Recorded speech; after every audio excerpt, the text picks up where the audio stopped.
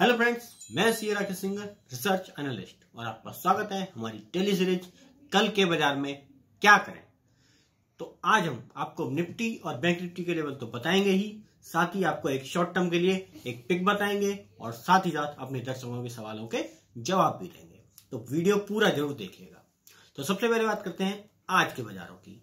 Bank Nifty का chart आपकी screen पर। आज निफ्टी की बात करें तो आज निफ्टी ओपन हुआ 9164 के लेवल पर। और उसके बाद निफ्टी एक 9150 से 9225 की एक रेंज में रहा। लेकिन उसके बाद उसमें बाइंग आई और बाइंग के बाद निफ्टी ने 9296 का हाई लगाया। यानी तिरानवे सौ के लेवल को टच करने की कोशिश की। लेकिन जैसा कि हमने आपको बताया था प्रॉफिट बुकिंग आ गई और प्रॉफिट बुकिंग के बाद निफ्टी ने 9141 का लेवल टच कर लिया और फाइनली निफ्टी 9154 के लेवल पर क्लोज हुआ। अगर कल के लिए बात करें, कल यानी मंडे जब बाज़ार खुलेगा सत्ताईस अप्रैल को तो इस वीक निफ्टी की एक्सपायरी है तो वोलेटिलिटी मार्केट में काफ़ी रहने की संभावना है। तो इसलिए कल निफ्टी दोबारा से 9350 से लेके 9400 तक के लेवल टच कर सकता है। और साथ ही फिर वहाँ पे उस लेवल पे एक प्रॉफिट बुकिंग आ सकती है, जो कि निफ्टी को 9250 से लेकर 9100 तक के लेवल पे ले जा सकती है। और हमारा व्यू विशाल पे बिग वाली का ही है। अब बात करते हैं बैंक निफ्टी की। बैंक निफ्टी का चार्ट आपकी स्क्रीन पर।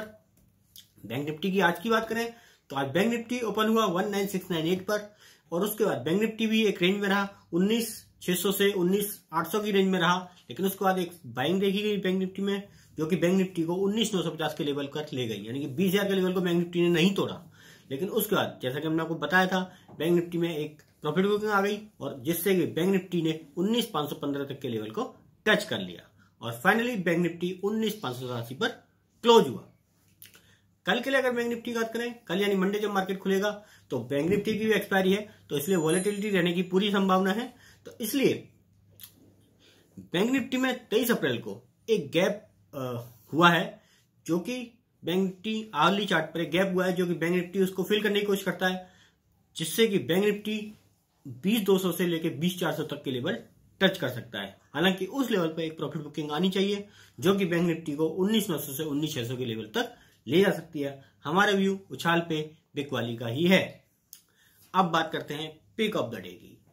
पिक ऑफ़ द डे आज हमारा पिक ऑफ़ द डे है New India Assurance Company Limited यानी एनआईएसीएल आज का भाव है इसका एक सौ चौदह रुपए का।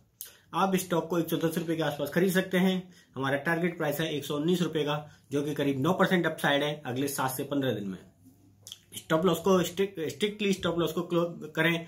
क्लोजिंग बेस पर एक सौ से नीचे यानी एक सौ चार रुपए पैसे पर।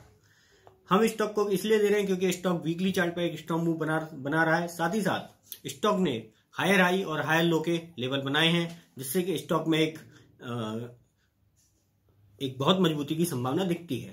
तो इसलिए हमें लगता है कि ये स्टॉक आगे एक अच्छा रिटर्न दे सकता है।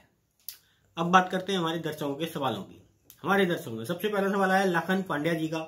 इनका सवाल है हमारा राजा बैटरी पर क्या पाँच साल के लिए क्या व्यू है और साथ ही एक शॉर्ट टर्म का व्यू पूछ रहे हैं।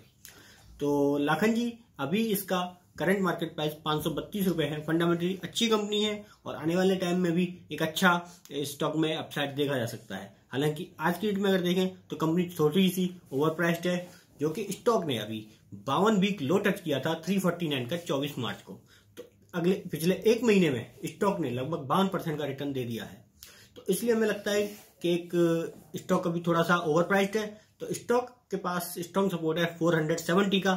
अगर स्टॉक उस लेवल के आसपास आता है तो आप चार से चार सौ अस्सी के लेवल पर खरीदारी कर सकते हैं और एक स्टॉप लॉस चार सौ उन्नीस का लगा सकते हैं क्लोजिंग बेस पर।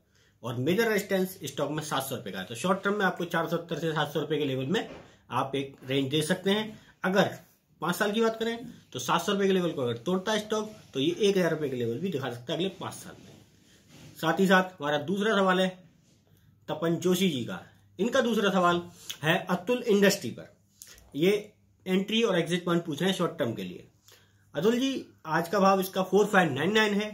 टेक्निकल बेस पे देखें तो स्टॉक में तैतालीस सौ, चालीस से, तैतालीस सौ पचास के भाव पर एंट्री की जा सकती है और स्टॉक को, जो कि स्टॉक को सैंतालीस सौ पचास से अड़तालीस सौ तक के लेवल पर ले जा सकती है। हमें stop loss four zero four nine का क्लोजिंग बेस पे रखना होगा।